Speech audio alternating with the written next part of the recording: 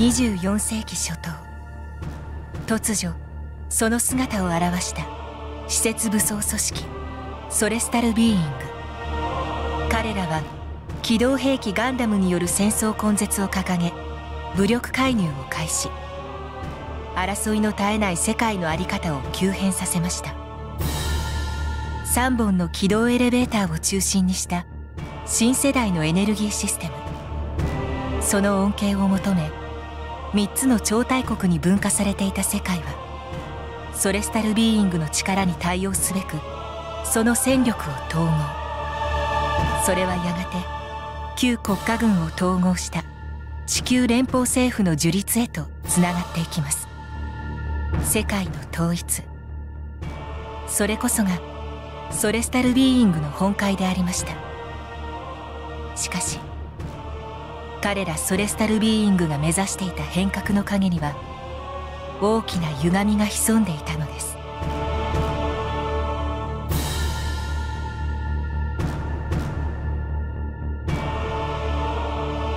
リボンズ・アルマーク。ソレスタル・ビーイングの創設者イオリア・シュヘンベルグによって生み出されたイノベイド。その一人である彼は自らを人類を超えた存在と語り連邦政府の裏側から世界の全てを管理しようと暗躍。一度は壊滅に至ったソレスタルビーイングもイノベイドに対抗すべく活動を再開。そして人類初のイノベーターへと覚醒を始めたガンダムマイスター刹那 F 精鋭の活躍によりリボンズの独裁を退けたのです。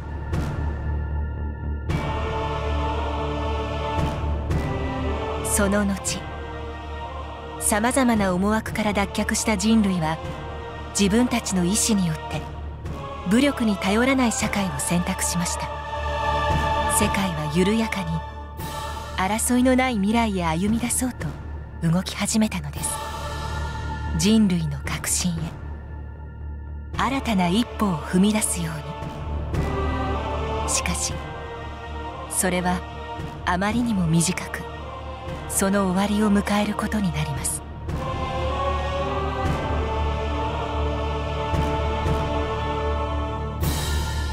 地球から遠く離れた太陽系第5惑星木星。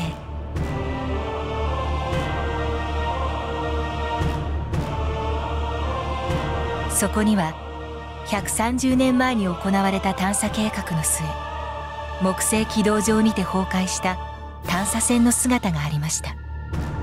もう動くことのないその探査船は歴史上の遺物となり遠い昔に人々から忘れ去られた存在でしたが突然かつての姿を取り戻して地球圏へと向かい始めたのです。それは生存者のいない無人の船体がまるで一つの意志を宿したように。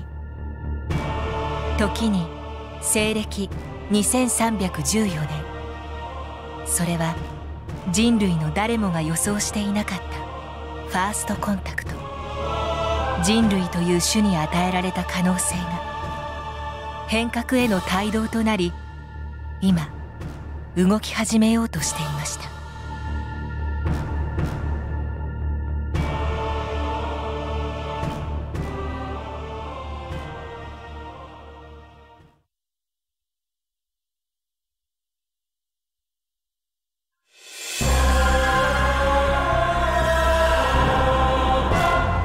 来週。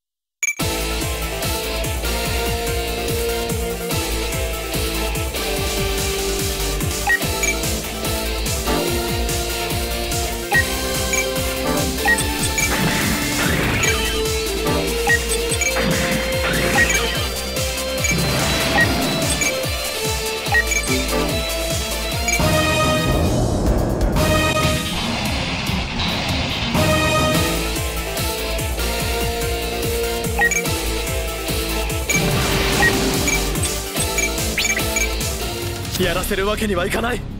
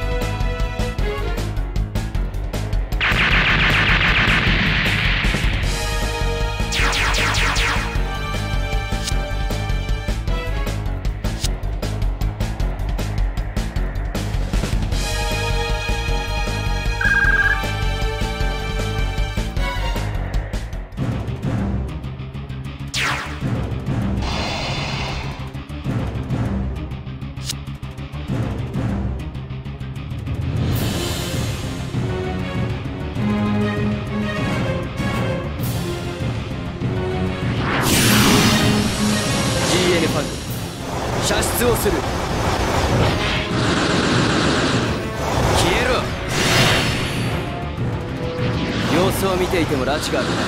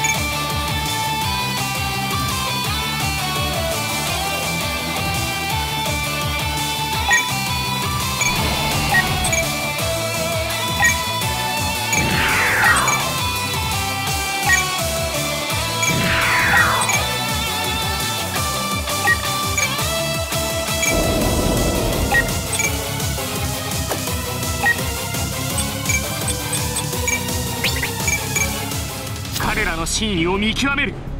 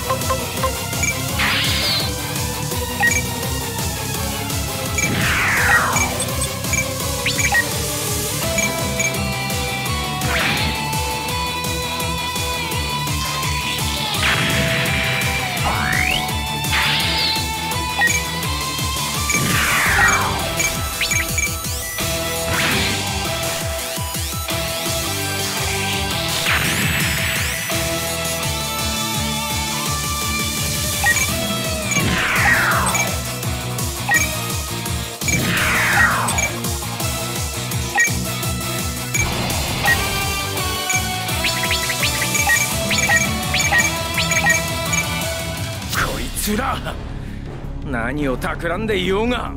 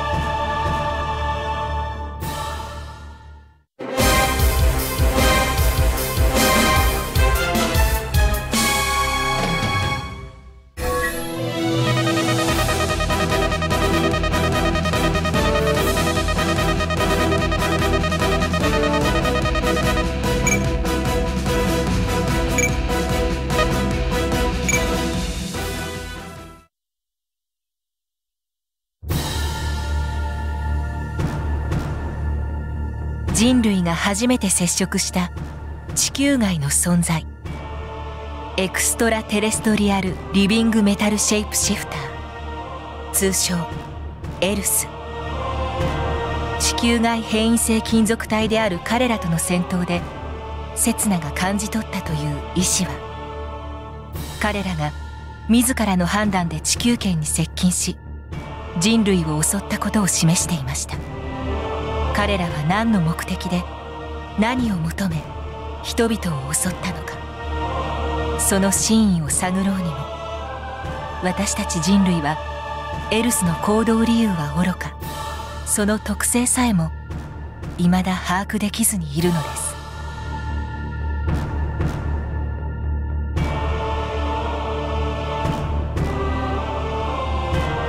かつてイオリア・シュヘンベルグが提唱した来るべき対話それは本来人類が外宇宙へ進出を果たした時初めて到来するものと想定されていました。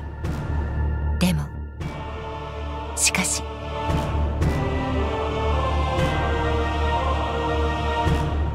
同種同士でさえ未だ完全に争いを止められない人類。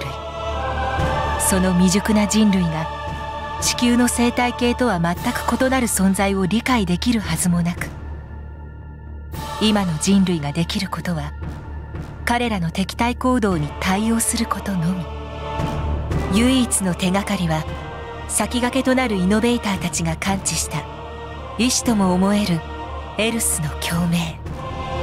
それは人類には想像しえない強大な命の叫びそのものでした。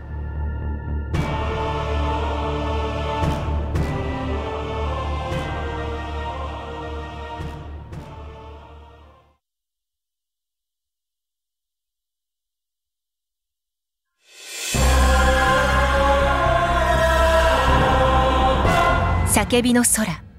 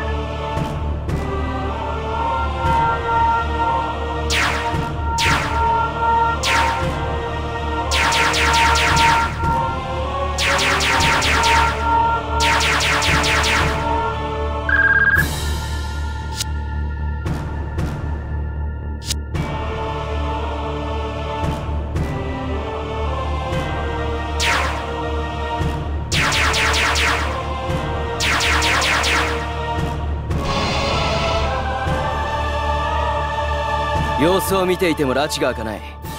エルスの真意見極めさせてもらう。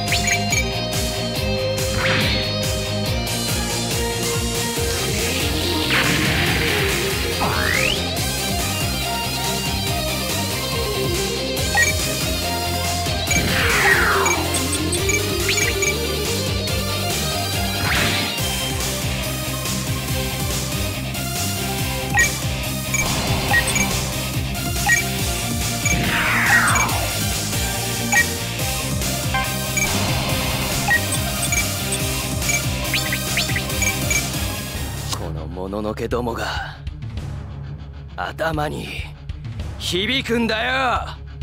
叫んでばかりで。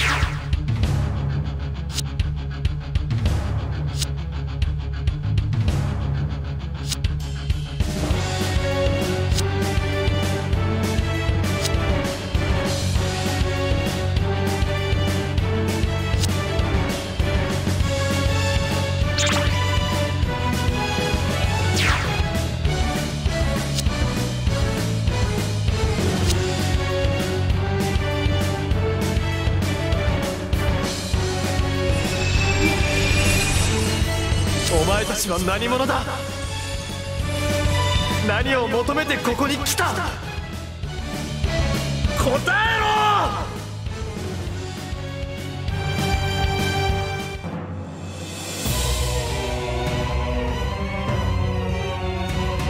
答えてくれ！お前たちの目的は？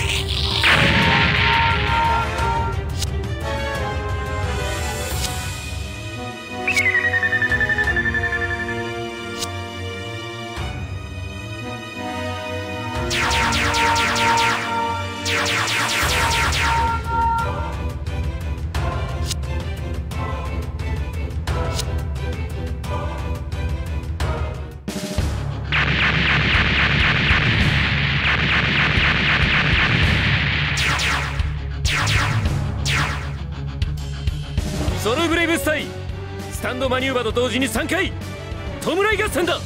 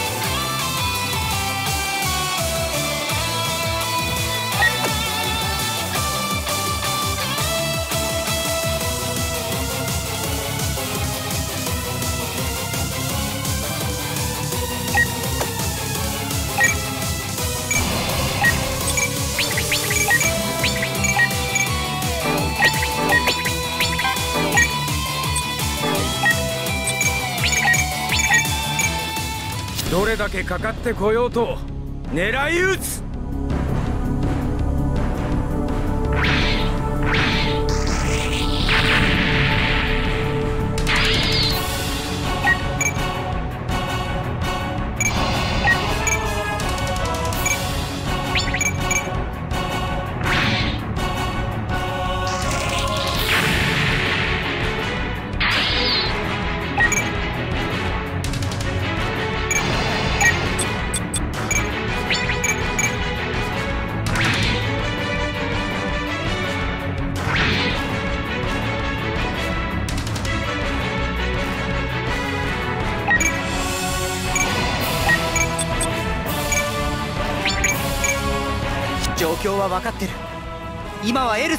する。